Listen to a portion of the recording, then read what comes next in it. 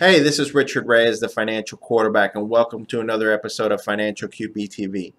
I want to tell you a couple stories. Um, one is a personal story about me, and then another one is on a recent meeting that I had. Um, I want to share the story with you, and this is my father died when I was young.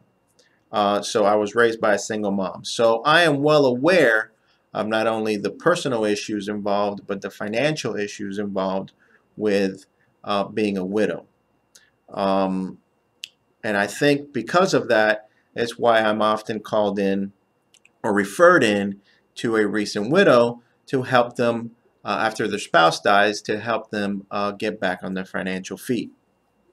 Now, here's a staggering statistic that you need to know. Based on current life expectancy and demographics, about 70% of women today, 70% uh, of baby boomer women will actually um, be widowed. Um, the mortality tables show that women outlive men by about two and a half years. Now, since women live longer and typically marry men that are older, uh, that very easily means that a lot of women will go into retirement as a widow uh, for anywhere from 10, 20, or 30 years.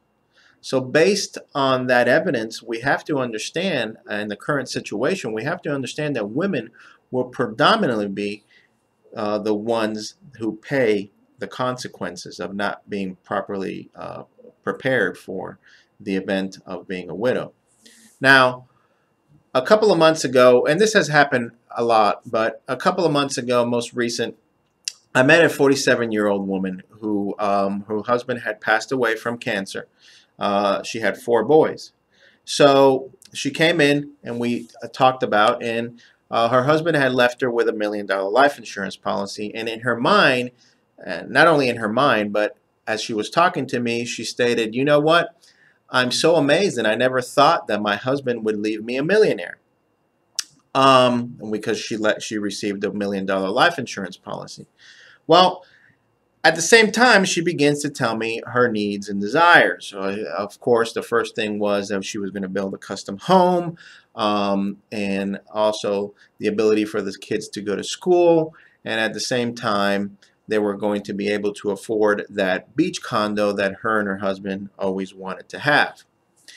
When I told her to slow down and say, hey, I think you're going to be shocked that a million dollars at uh, today's interest rates of roughly 1%, about $10,000 is what we can realistically get from that a year and, um, and not have the fear of running out of money.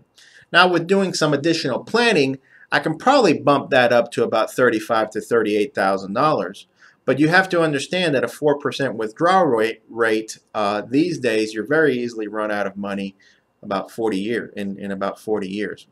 30 to 30 to 40 years depending on the situation. So she began to obviously be concerned because she stated to me, you know what? Uh, my husband made $250,000 a year. I can't be expected to live on 35 to $38,000 a year.